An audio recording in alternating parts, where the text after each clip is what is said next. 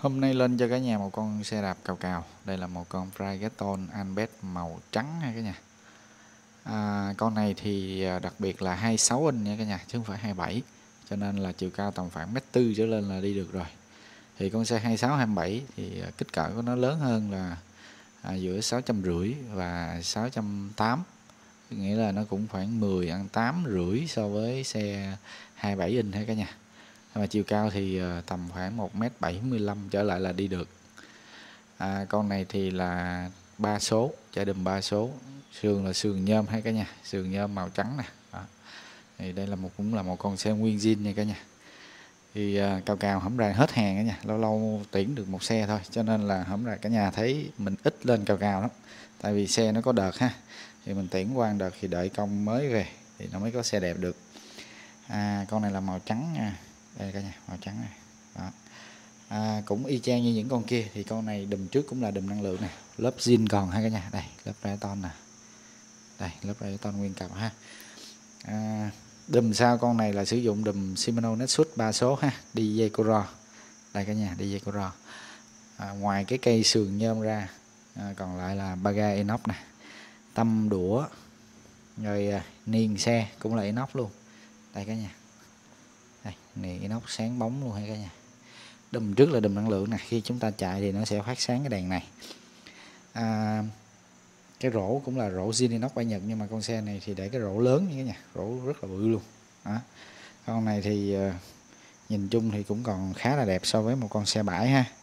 Đây cả nhà thấy nè đồ đạc còn rất là đẹp ha. Để mình quay cái tiếng đùm nha cả nhà nghe thử.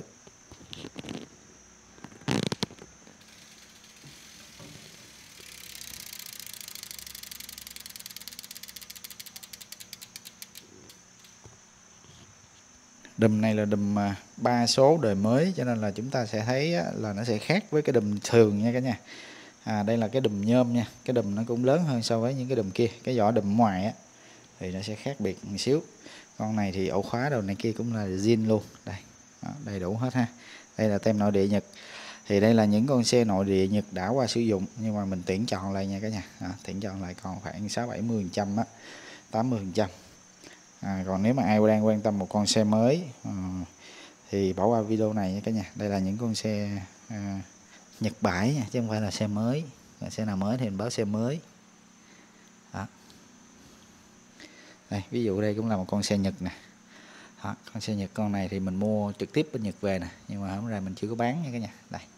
Đó đây cũng là xe Nhật nè. Đây hãng Panasonic nha cả nhà. Đó. Không? Panasonic nè đó, rất là đẹp. Đây là những con xe mua trực tiếp này.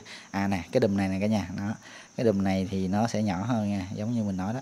Đùm này là cái đùm đời trước nè. Đó nhưng mà ở thời điểm hiện tại nha nó vẫn sử dụng để bán ra cho những con xe đạp đời mới chứ không phải là nghỉ sản xuất đâu nha cả nhà. Đây đây như con này còn chạy nè. Nó sẽ nhỏ hơn nó sẽ nhuyễn hơn cái đùm này nha cả nhà. Đó thấy không? Khác biệt thì đây cũng là những con xe đã qua sử dụng rồi nè, nhưng mà chạy lướt nè cả nhà, mua về chạy ít nè. Mình mua bên nhật mình sách về đó, nhưng mà hiện tại mình đang để mình chơi nên chưa có bán nè. Đó. đó cả nhà, rất là đẹp, con xe này nè. Đẹp mà máy rất là mạnh luôn. Xe thì sẽ được ship toàn quốc nha cả nhà, ở đâu ship cũng được hết. Con này thì à, mình bán chỉ à, 4 triệu 8 thôi ha cả nhà 4 triệu 8 à, 4 triệu 8 còn phí vận chuyển một con xe nguyên zin. Cũng phải có chạy xước nha cả nhà nhưng mà nó không có đáng kể thôi. Phải có chạy xước phải có reset. Bởi vì nó nằm lâu quá không đi cả nhà chứ không phải là mà à, do người ta đi đến nói mà mà mà bị đâu. Tại vì để bãi nè về vận chuyển về này kia nè để lâu ngày ha. Rồi một con uh, Ragaton Albert 26 inch nha cả nhà phù hợp chiều cao 1m45 trở lên đi được rồi. Đó con này 4 triệu 8 khách nào chơi thì alo cho Phúc ha. Xe đạp Nhật Bản, xin chào.